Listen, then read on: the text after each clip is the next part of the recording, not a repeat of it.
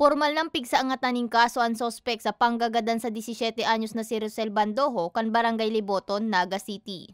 Alas 10 kasubagong aga kan maisaangat na sa City Prosecutor's Office kan ina kan biktima na si Juby Bandoho ang kaso laban sa sospek.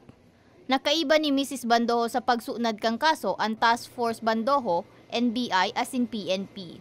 Robbery with homicide ang kasong kakaatubangon kan suspitsyadong si Lorenzo Purisima alias Enzo. Nakabarangay man sa nakan biktima as nagtatrabaho bilang construction worker. Sigun kay Agent Joey Ahero kang NBI Bicol, nagdura rin sa rumbulan asin tulong aldaw antes ninda isinapubliko ang identifikasyon kan sospek.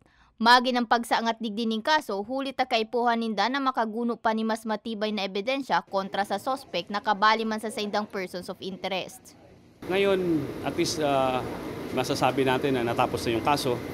And then, uh, pagpasensyahan nyo yung law enforcement agencies kasi hindi ito pa, madalian. Ano? Uh, as we mentioned before na hindi ito marathon, uh, we'll make sure na maayos at matibay ang ebidensya na isasampa natin at makukuha. Para naman uh, hindi ma-dismiss siya. Ano? Baka pag madalian, eh, fiscal level pa lang ma-dismiss na.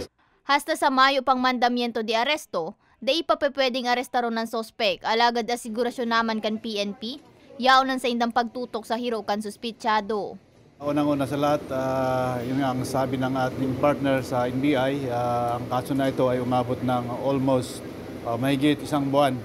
Uh, gusto namin magpasalamat sa ating uh, mayor uh, at pagbuo niya ng uh, task force. Uh, malaking itulong ng uh, nagbigay ng information kami po ay nagpapasalamat sa kanilang lahat. Thank you. Sigun kay City Councilor Omar Buenafe na namayo kan Task Force Bandoho, ngunya na nasa angatanan ni kaso ang kagibo kang krimen, dagos naman nindang gagabao ng Task Force Bandoho. Task Group is a temporary uh, organization para mabigyan natin ng focus at ma-consolidate uh, yung mga resources ng iba't ibang agencies na may expertise sa pag-investigate nito. Nakakasiguro tayo, hindi lang doon sa suspect, pati na doon sa kasong isinampa at uh, na iyan ay magpapatuloy sa korte para sa conviction ng suspect.